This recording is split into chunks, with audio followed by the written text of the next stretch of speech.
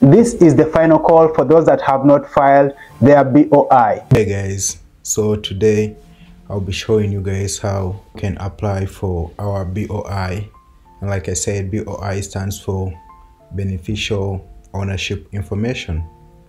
For whoever owns an LLC or a corporation that was created before January 1st, 2024, you're supposed to file your BOI before the end of 2024 to avoid serving time up to two years, a fine of 10k, or even a fine of $500 per day. And then for those that register their businesses or their LLCs in 2024, you are given up to 90 days to file for your BOI. So today I'll be showing you guys how to apply for your BOI. So we shall come to the FinCEN website. FinCEN is Financial Crimes Enforcement Network. So we shall come and then they'll show us what we need and how we can file. Remember, this is only supposed to be done on the FinCEN website. So we shall come here, look for file a report using the BOI e-filing system. So we shall come to here.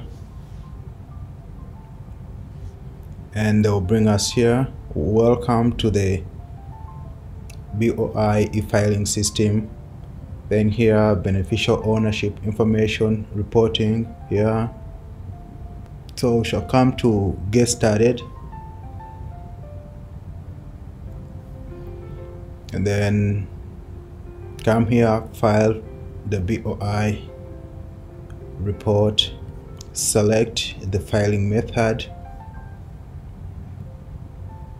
So you can either prepare a BOI by PDF and upload or you can do it online.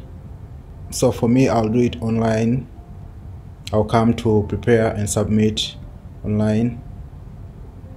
Yeah, agree. And they'll ask us a couple questions type of filing. Since i'm filing for the first time i'll come to initial report. Then uh, date prepared. Uh, this is auto filled so date they'll give us today's date which is december 2nd 2024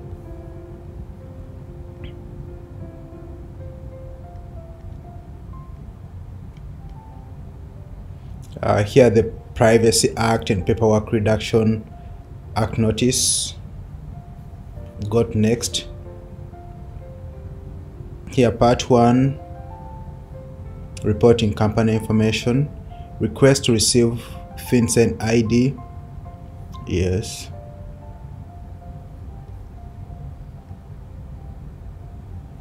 Legal name and alternative names so we shall come here to type in our company legal name.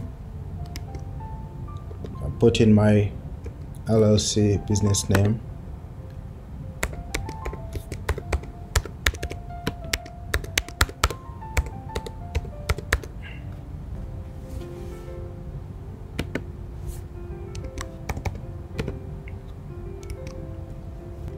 Then we shall scroll down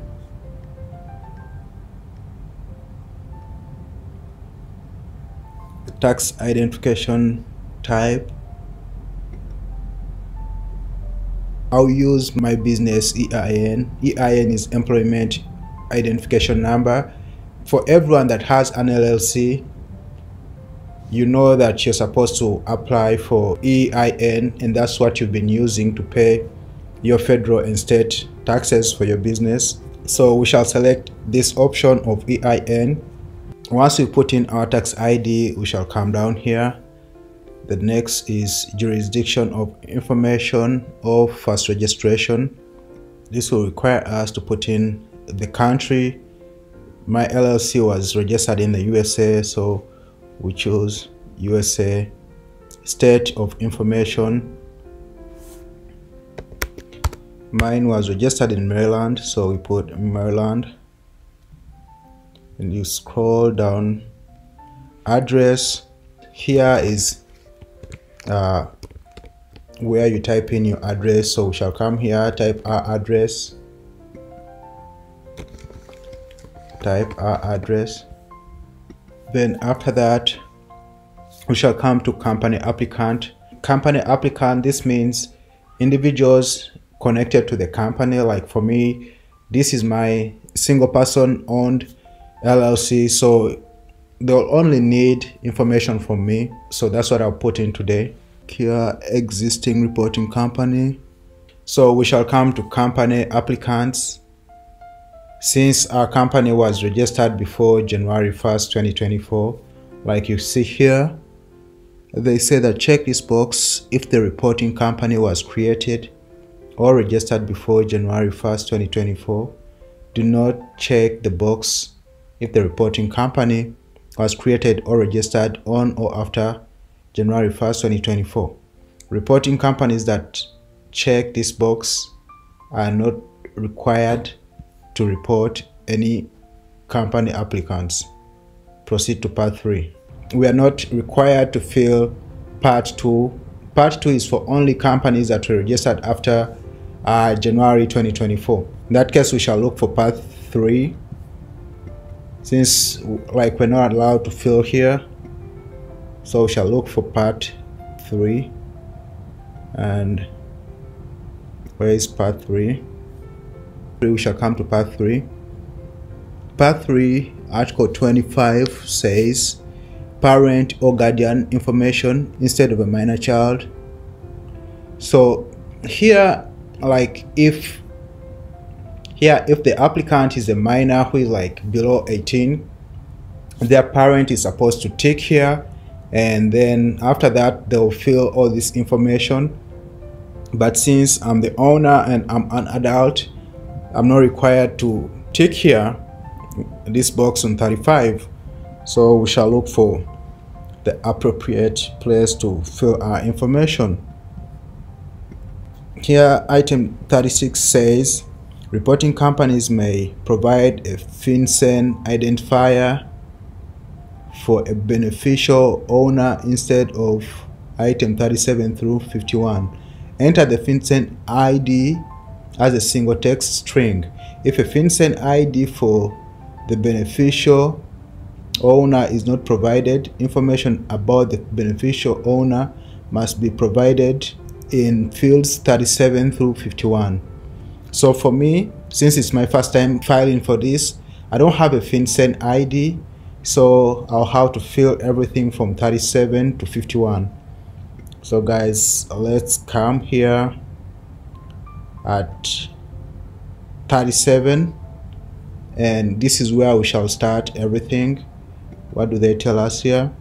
They say check this box box 37 check this box. If the beneficial owner holds its ownership interest in the reporting company exclusively through one or more exempt entities and the name of the of that exempt entity or entities are being reported in the lieu of the beneficial owner's information. If checked provide the legal name of the exempt entity in field 38 but for us since we are not exempt we shall come here to legal name and all this other information.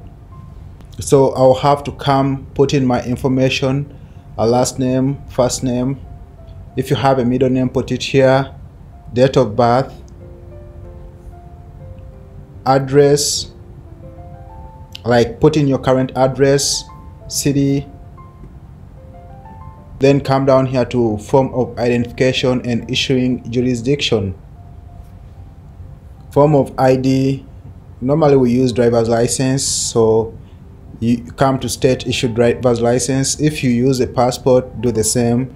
And if you're a foreigner and you don't have a driver's license, but you have your foreign passport, then you can use your foreign passport. Or maybe if you have uh, a state ID which is not a driver's license you also come to this option.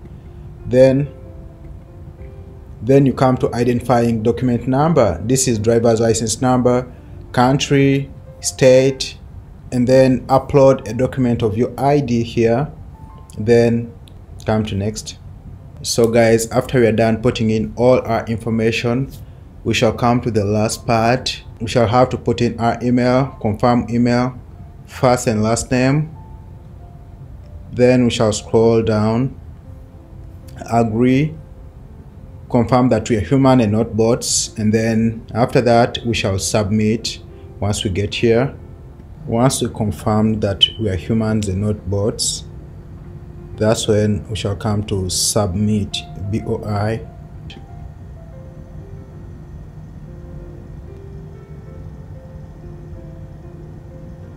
and then once we're done submitting they'll give us this confirmation of submission.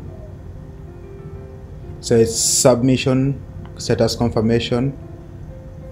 Don't forget to download transcript before closing the page.